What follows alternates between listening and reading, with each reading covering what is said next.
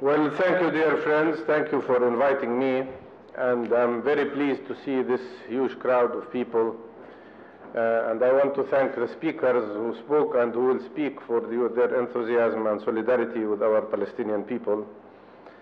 And uh, since I came a long way, uh, and we have this wonderful crowd, uh, I think I will use my time to give you information about the reality in Palestine. Not because I want to convince you to support the Palestinian people. I think you, you, you support already the Palestinian people. But because I want to provide you with instruments, with information that can help in that, especially in the light of the great need of enhancing boycott, divestment, sanctions campaign against Israel.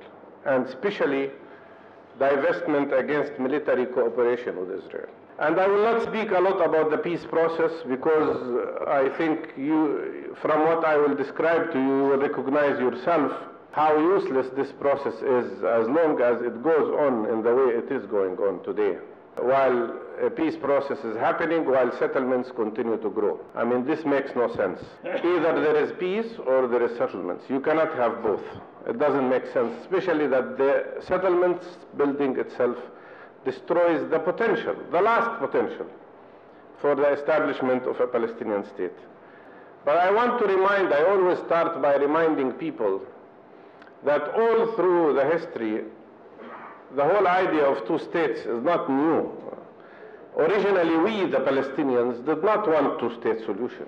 We wanted a simpler solution. We wanted a solution where Palestinians and Israelis would live together in one state with full democratic rights on the basis of equality. But the world was the one that tried to convince us to accept two-state solution. And in the United Nations decided in 47 to have the partition plan, where Palestine would be on 45% and Israel would be on 55%. Mind you, at that time, Palestinians owned 93% of the land of Palestine. And they were 70% of the population there. Still, that was the resolution of the United Nations. And, but Israel was established not on 55%, it was established on 78%. And in 1988, the PLO, the Palestinian representative, decided to accept a compromise. And that compromise was two-state solution based on 67 borders. This is the Palestinian call today. And it's not just, but it's realistic. And when we say two-state solution on the basis of 67, it means we are accepting less than half of what we should have had according to the partition plan.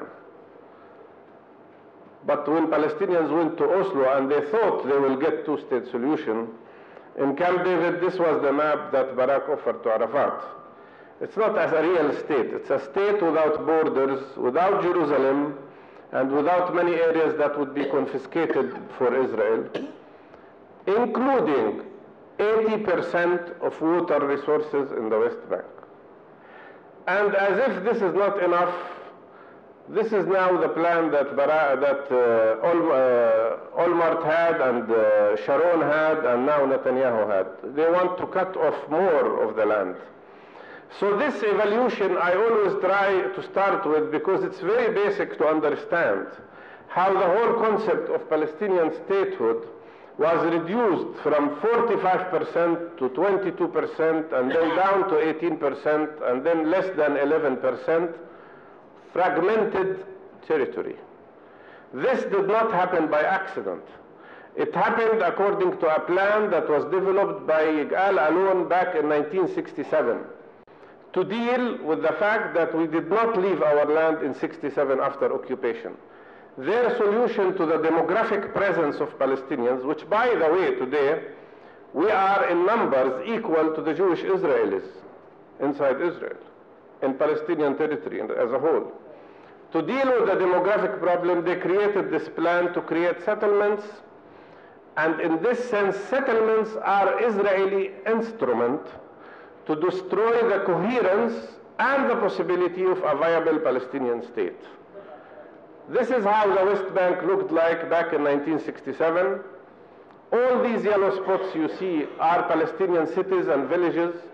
There wasn't a single Jewish or Israeli state uh, settlement. They first built settlements. And then claiming that this is for security, they built checkpoints. I put here only half of the checkpoints, because if I put them all, you will see a completely black map. And then they created the wall, claiming it is for security, while actually this apartheid wall is, was nothing but an instrument to appropriate more land. And the end output would, this, would be this map of fragmented territories. Even Oslo process was not out of this scheme. In my opinion, my humble opinion, our biggest mistake as Palestinians was to accept Oslo process. Because we, the, the leadership bought into the Israeli argument in this case, which is let's negotiate and see where we reach instead of insisting that the first there will be an approval of ending occupation as a whole. This is Oslo map. And what is shocking here, if you see when you apply the wall map to Oslo map, how much they fit. Although Oslo was developed in 94, 95, and the wall was built in 2002. If from the west you will see a complete fit, and from the east you see a complete fit. The change now is that they have these enclaves that they want to introduce inside the occupied territories to enclave more settlements and annex more land. And the outcome will be this map. This is what they are trying to negotiate about today in the so-called peace process. This is not a state. The only map that looks like this is this one, the one that was created during the apartheid time in South Africa. Also there, there were Bantustans, and inside Bantustans there were governments. And in one of the Bantustans there was a king. But that meant nothing, because these Bantustans had no real sovereignty. They were under the thumb of the apartheid system, like Israel is trying to create a situation where we will remain under the thumb of Israeli apartheid system. It is a full-fledged apartheid. Let me give you an example. Today, Israel controls more than 80% of water resources. A Palestinian is allowed to use no more than 50 cubic meters of water per capita per year, while Israeli illegal settlers can use up to 2,400, 48 times more than Palestinians. That's why our cities today are thirsty. The first thing that uh, affected me when I arrived here is to see how, how green your country is, because you have water.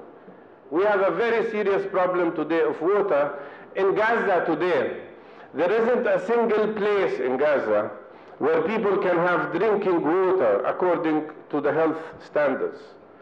All the water resources are either polluted or totally salinated. On average, the Israeli GDP per capita is $28,000. This is an old number. Our GDP is only $1,000, but we have to pay the same prices like Israelis pay because of an imposed tax and market union. More than that, we have to pay for our water. We have to buy our water from Israel and pay double the price that Israel is paying. The same applies to electricity. But the worst thing is the system of road segregation. A road segregation system which has created an apartheid phenomena that did not exist even in the worst time of apartheid in South Africa.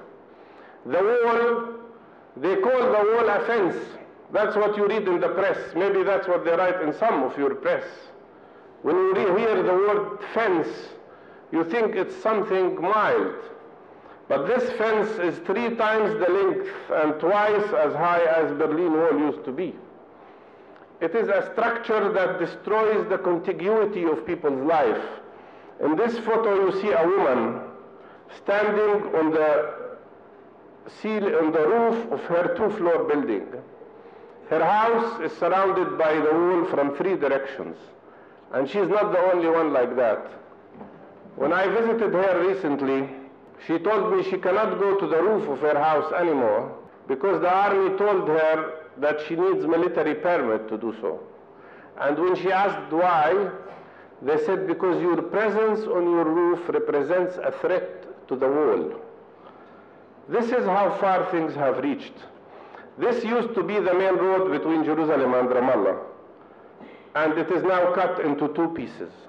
One thing I want you to know is that while we have now peace process, during the peace process, Israel continues to expand this wall and continues to build this wall. So in my opinion, we, the Palestinians, should not sit at the table before Israel first freezes all settlement activities and stops building the apartheid wall in preparation for its removal. Without that, we will be cheating ourselves and creating an illusion for us and for our friends. In 85% of the time, the wall is separating Palestinians not from Palestinians, not Israelis from Palestinians as they claim. This is a city called Qalqilia. Just try to imagine. And it's not the only one. I'm just giving you an example of a situation that affects hundreds of thousands of Palestinians. A city of 46,000 people surrounded by this white line, which is the wall, having only one passage, a small road which is 8 meters width with a gate. And the Israeli soldiers have the key to the gate. And any time they want, they can shut off the city, which they did many times. this is how it looks from the air. And on the left side, you see a highway, also built on the land of Qalqilia, but forbidden for us and for Qalqilia people. And if any of us is caught driving or walking on any of these streets that are segregated, we could be sentenced to six months in jail. Many places in Palestine are now stuck behind the wall. People cannot go to get treatment or education or go to universities or go to their farms or get water for their land except if they have a permit. But if they have a permit by the Israeli military, they cannot cross anytime they want. They have to follow this schedule here, which says people can cross only from 7.40 to 8 in the morning, from 2 to 2.15 p.m., and from 6.45 to 7 p.m. 50 minutes a day. Have you ever seen this on your TV? Have you ever seen this described clearly? Do you see this in American TV, on BBC? No.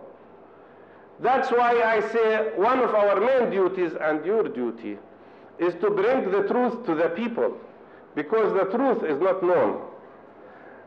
This is how it looks when children go to school in Palestine, in these areas.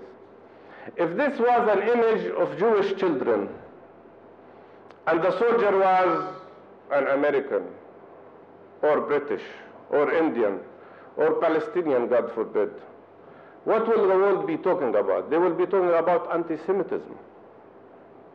Well, this is anti-Semitism practiced by Israeli soldiers against Palestinians. Because we are Semites too, by the way. So, this is how a farm looked like before the wall was built in the upper picture. And this is what remained of it after the wall was built. This used to be a market in another village near Tulkarem called Nazlet Isa. This was remained of the market after it was, the, the wall was built. This was a house that was cut into two pieces. And this is how close the wall is to people's houses. This is how a settlement looks like, with lots of water and green. And this is how a Palestinian village looks like. This is the apartheid in reality. This is how workers have to stand for hours, and ordinary people, including myself, if we want to cross from one area to another. You can stand for two hours, three hours, four hours. Sometimes they turn you back.